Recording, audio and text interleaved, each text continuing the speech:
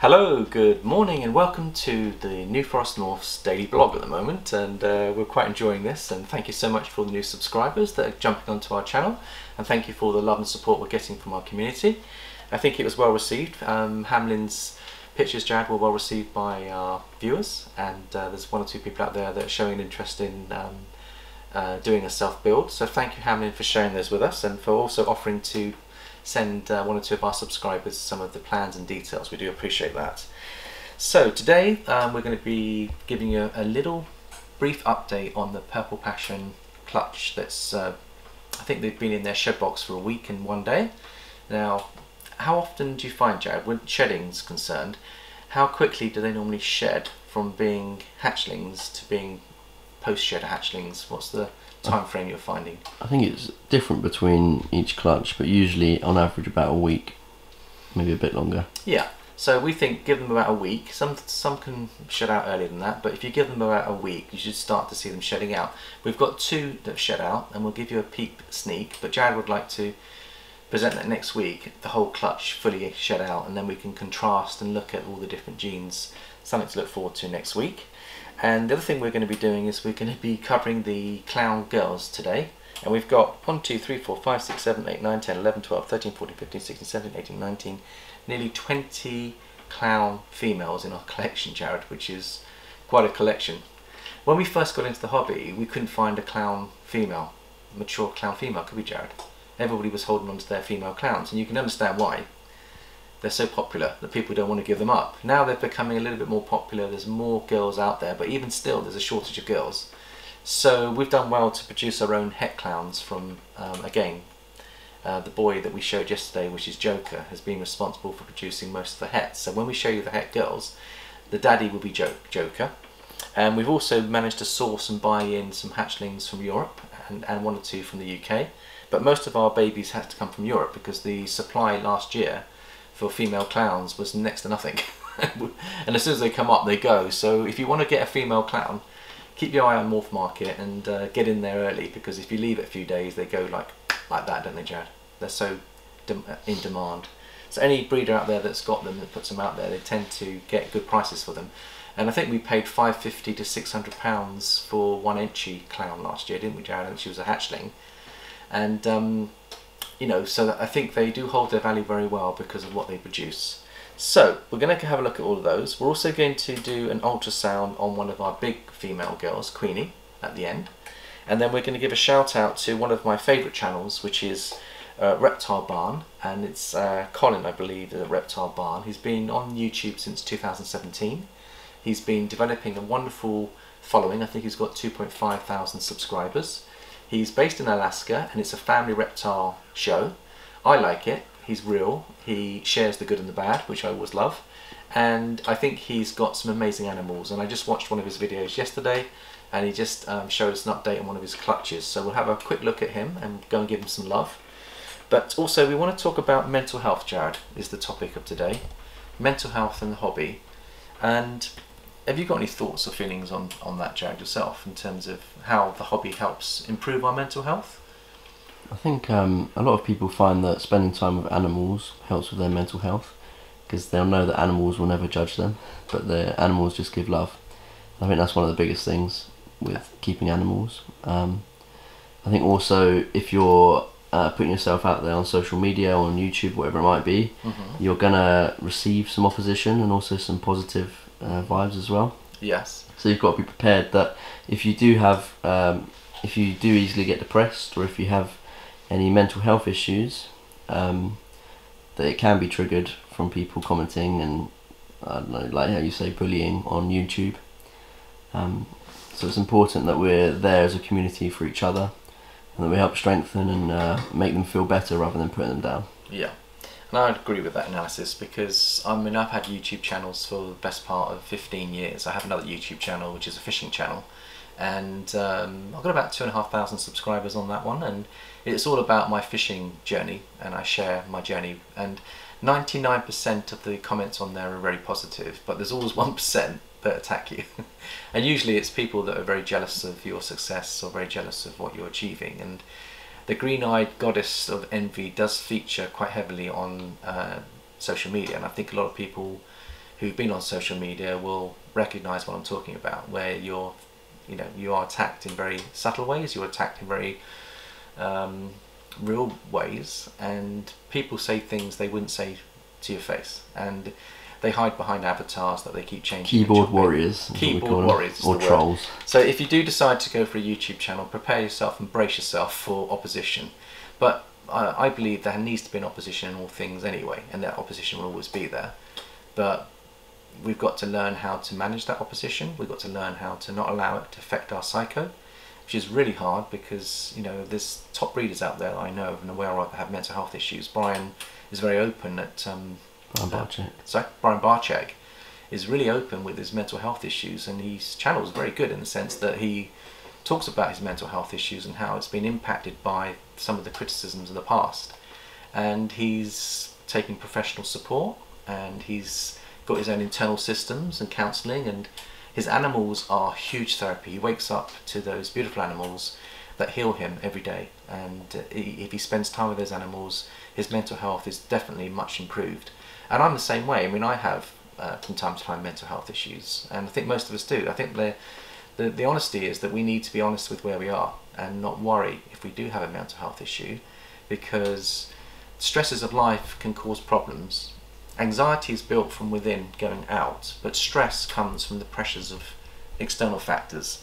And there's two or three ways of dealing with those pressures, and we need to have outlets. Snakes is a great outlet for stress relief, and one of the reasons why this hobby has gone so far so quickly during the COVID years is because families and individuals at home and pet sales right across the board, people are taking comfort from their pets.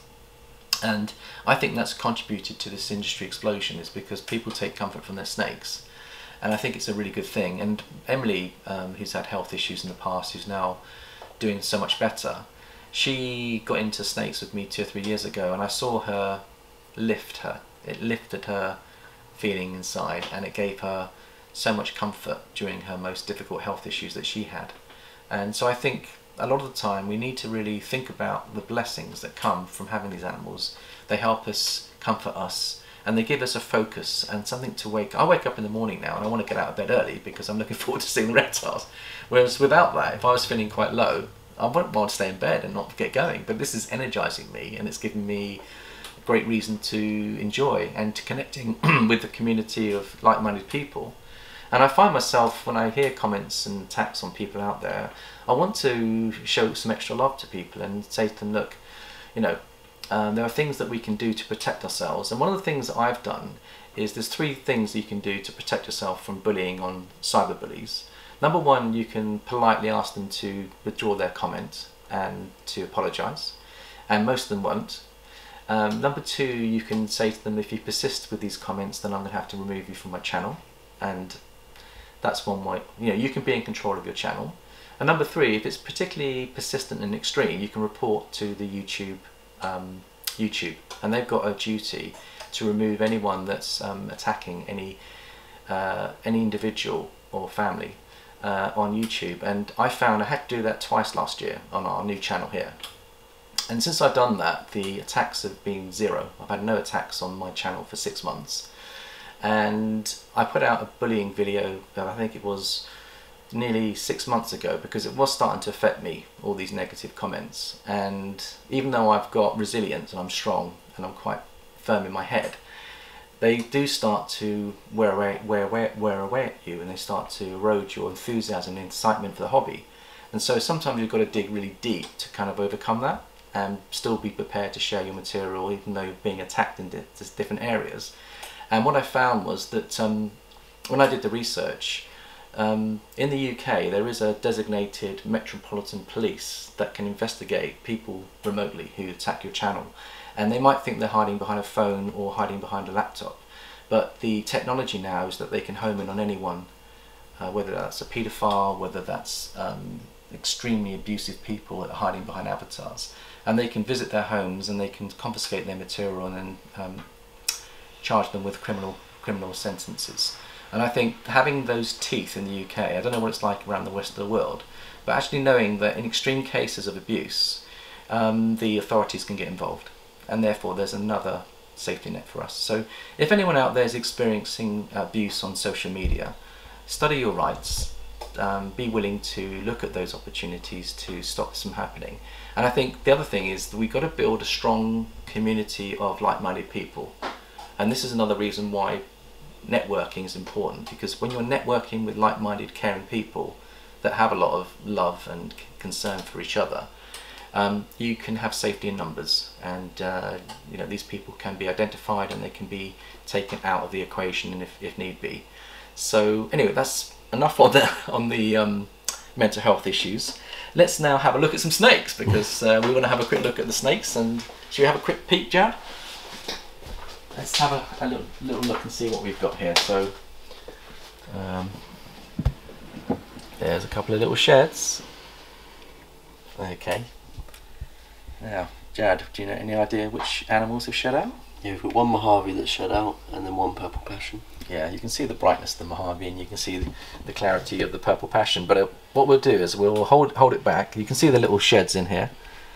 And what we do is, over the next two or three days, they'll all shed out.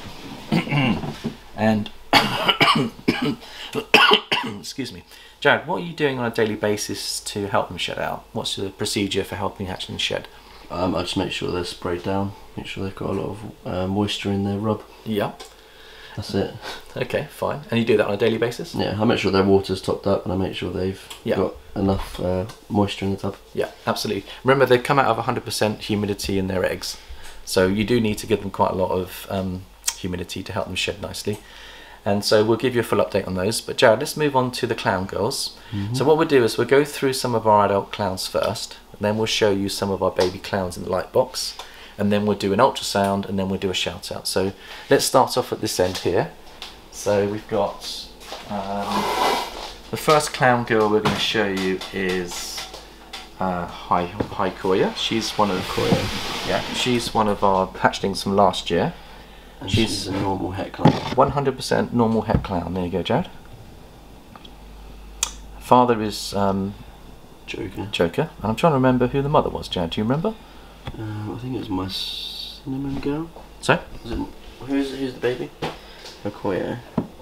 yeah, she was born in. August 2020. So she's have a, to look who the mother is. Yeah, okay. Let's go on to the next one. So we've got Xena. Now this one is a pastel twilight het clown. And what's a pastel twilight, Jared? That's a pastel and then a cinnamon and a spot nose together. Yeah. And the mother was Venus, who's a Pastel twilight. pastel twilight, and the father is jo- Joker. And she just shed out today. And she's about 800, 900 grams. So she'll be hopefully a future mother next year. So these are our sub-adults we're showing you here at the moment. And we've got another one down here. What have we got here, Jack? This is Calissa. Calissa. She's about 1200 grams. So she probably won't come into this year's breeding Jared, but she'll be ready for next year. She's a lesser clown. She's a lesser clown and we imported her from Europe. She's very beautiful. That's lovely. And then they, down here we've got two other animals here. So here we've got, what have we got here? Let's just have a look and see. This is a vanilla spot nose. Oh no, this is a spot nose het clown. Yeah. Uh, spot nose het clown. That's for the Batman projects. And she's about 1200. Lovely head stamp. Yeah, I do love that head stamp, and I do love spot nosing clown. And over here we have another het clown, I think it is. This one I think has the same but with vanilla. This one's got this is a vanilla spot nose het clown, and she's a little bit bigger, and I think she is. Well, she might just be a vanilla Jared. I don't think she's spot nose. Yeah, I think she is. What does it say? Check. She's a vanilla clown. Just the vanilla, but the vanilla is a wonderful gene to have in clown, as you can see from our friend Rob um, at Royal Balls has just produced some amazing pastel vanilla spot nose clowns, and they are beautiful. So we thank we thank Rob for getting us into that gene. um, what other ones have we got there? So My we got girl's your favourite girl Calypso. Let's see how she's doing. She's a pastel Clown. clown, 100% for pied, and she is actually big enough to breed. She's 1700 grams, and she's got follicles building. Jan, I'm just going to get a drink. Do you want to just share the other ones while I get a drink? So this one is a bongo. That's 66% het for clown. Hoping to prove her out next year probably but she's got some amazing patterns on her.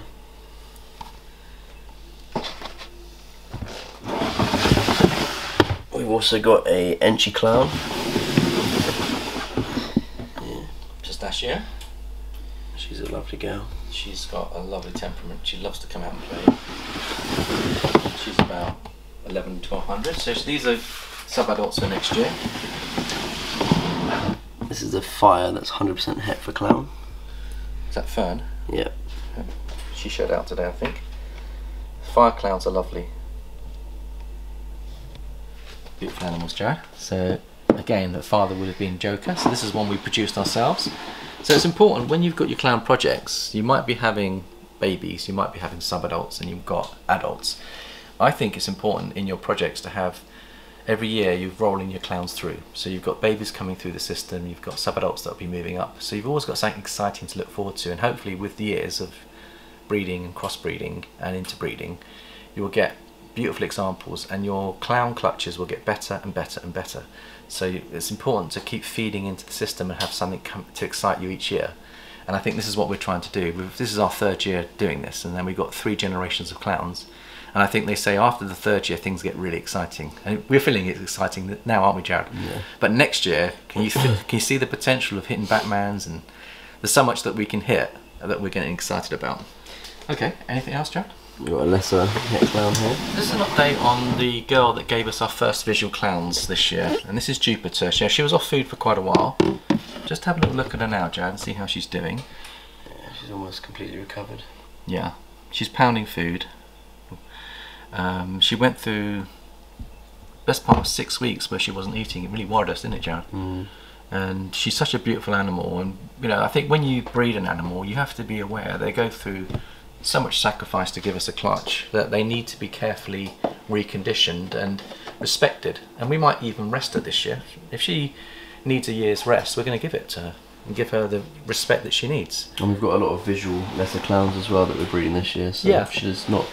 So she's given us a kickstart to our first baby uh, clowns, and she produces wonderful clowns for us. We'll show you the babies in a minute.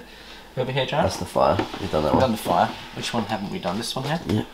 So what have we got here? That's the vanilla spot nose, I think. Yeah. What an example of a beautiful het. And she's beautiful, isn't she? She does want to come out. And I'll just take her out a little bit and just show you what she looks like. Maybe we should put her in the light box, Jared, and I wouldn't mess too much because we're feeding her. yeah. But we'll have a little look and see. She's got the white spot on her tail, the het clown markings. You see that, Jared? What that? See the Pretty little- sure every snake has that. Well, she's definitely got a white spot on her tail. Um, let's have a little look at her. Yeah, she's beautiful. We're really pleased to um, have her in our collection, and she's not far off, Jared. She's about thirteen hundred.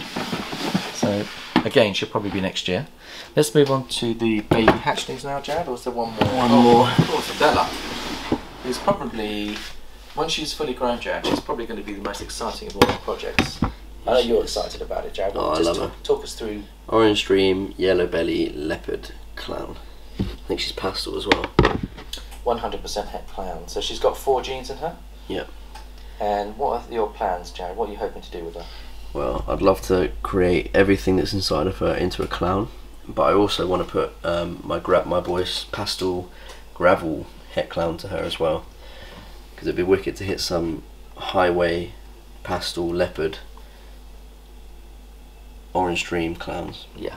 That's an awesome project, Jared. Right, and she's about 1300. I think she'll be good for next season, Jared. So we've only got another year before these beautiful girls are ready to go.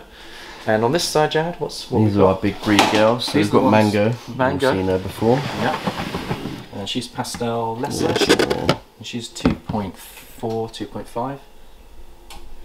Hopefully she'll give us a clutch this year. She's a nice girl. Yeah. And the other one we've got is We've got Xena, Xena, who's the clown het albino. she's het for Albino, and we forgot to give a mention to her husband yesterday on the males. We've got another male that we've Oh got, yeah, Yazoo, Yazoo. So Yazoo is a visual albino het clown. het clown, so we're hoping to produce um, albino clowns. Uh, here we've got Bubbles, who we ultrasounded the other day. Yeah. Enchi lesser clown. And we've not put a male to her yet, have we, Jared? Not yet. And who's who are we planning to put to her to produce? Oh, I don't remember. We'll have to I think we're, we're producing double hits with her. I think. I think we're going to produce double hits, so we might end up putting Bowser to her. And that would be amazing. Bowser's our dream school boy. Can you imagine putting a dream school boy into a clown? So here we've got a cinnamon het clown, and she's lovely. And what's her name, Jack? Uh, Cinnabon. Why don't we give her away, see how she's doing? And... Is she our first hatchling of the year? I think she's from that clutch. Yeah. Yeah. So she was born end of March, and she's six months old, and she's about 400 grams now, isn't she? And the mother was your beautiful girl toast, Yeah. cinnamon girl, and the daddy was Joker. So we're producing all these wonderful het clowns so we can get cinnamon into our clown genes, and banana cinnamons is what we're after, aren't we, Joe? We want to be able to. when she's big enough, we'll probably put a banana het clown male to her. Banana clown. Or banana clown even and try to generate banana clowns which are beautiful um, banana cinnamon clowns which I think are gorgeous any other clowns on this side Jack? do you want to show the visual clowns first so this is Lucky and you can see why she's called Lucky because of the horseshoe she's probably what two three months old She likes to bite, so yeah, I she's might got a a very look. healthy appetite. She's about 250 grams, and I would say that she is probably one of our favourite female clowns. Would you say, Jack? yeah, there's her horseshoe on her head, Mm-hmm. which is why she's called Lucky. Yeah. And we think they're just pure clowns. I don't think the, lesser, the butter never got into the visual clowns, No, they're amazing though. but they are gorgeous. Look how orange her head is. So got that lovely burnt feeling to it. I do like it. Very much so, Jack. Am I going to get bitten? Is the question. You might. and then she's got a bigger sister that ate literally. I think she is the big one, isn't she? No, no. The Oh, really? One, the bigger one is actually that one there you find. I think she's bigger, Jared. About the same. And that's Linnea.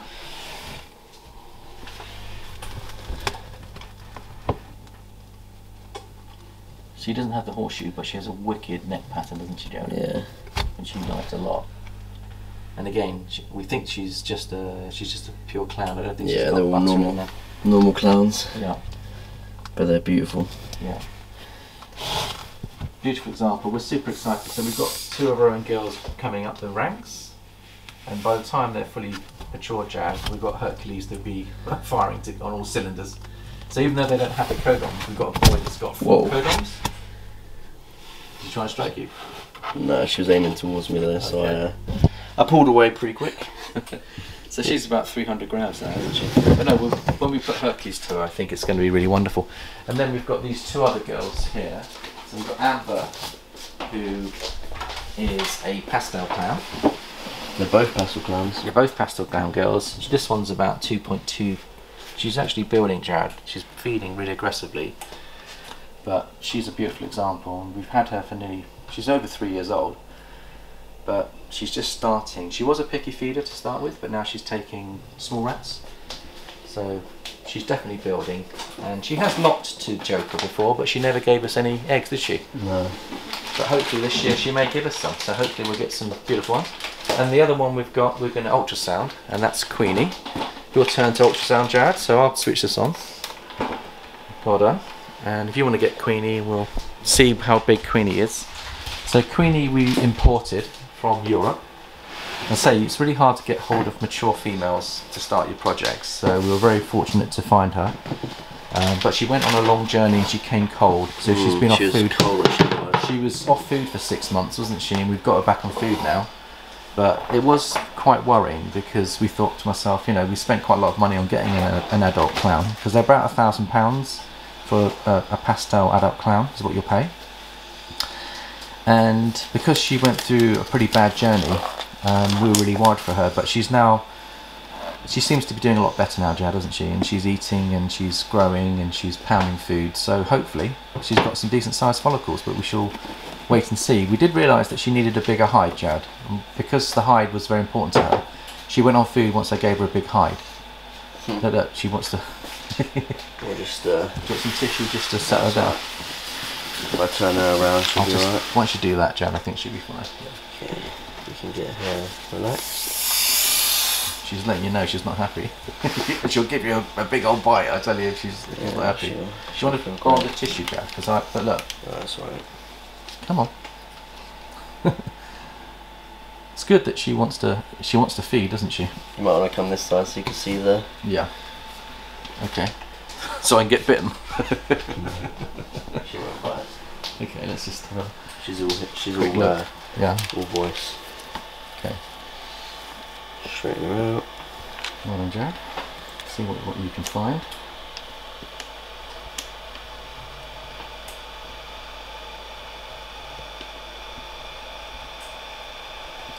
You found the internal organ there.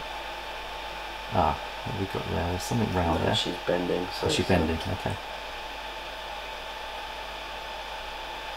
It looks like there's something coming up. Unless it's her bending. Oh, there's her bladder. So you found her bladder there, Jack. There's eggs on there. Are the eggs. Shall I freeze it? Actually, wait. Let me see.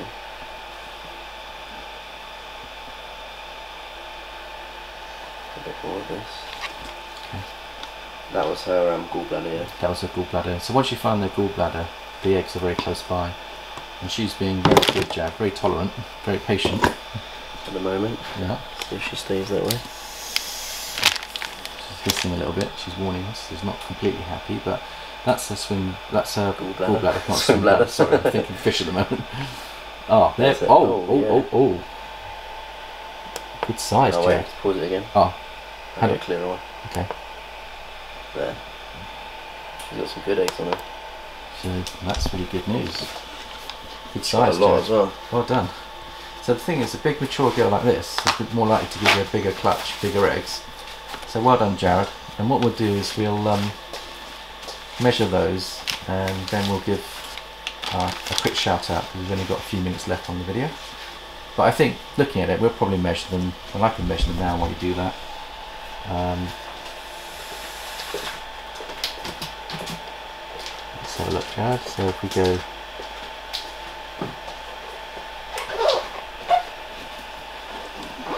Yeah, we can measure those. I reckon that's probably about 12 mil, 12 to 13 mil. Yeah, I'm- they're good I'm guessing.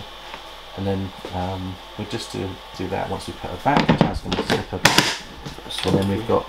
So I'll come out of the way. That's really good news. They're one of the biggest follicles that we've seen this week.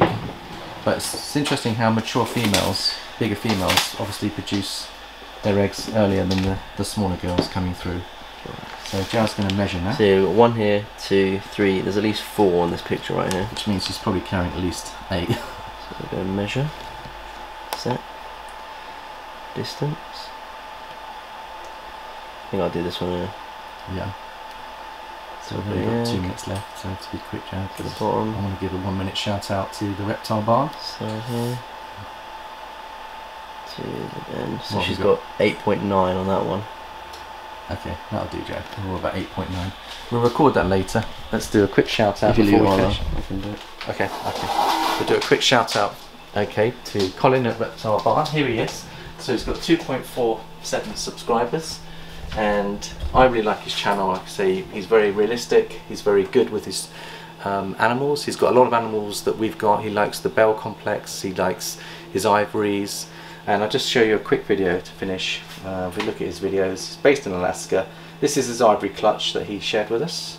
This gives you an idea of really The reason why I work for Thornbury primarily is I'll because just I clear really like this. flexible hours. Thornbury's There you go. Good morning, YouTube. Welcome to the Reptile Barn. Quick reveal video. I've been looking forward to this clutch because three different males went in and uh, they've all crawled out. And so I want to show you who the father is. So Freya is a leopard ivory. Onyx is a GHI Enchi yellow belly. Prince Dreamy is a super orange dream ultramel. And Cinna is a super banana cinnamon. So all sorts of different stuff could have come out of here.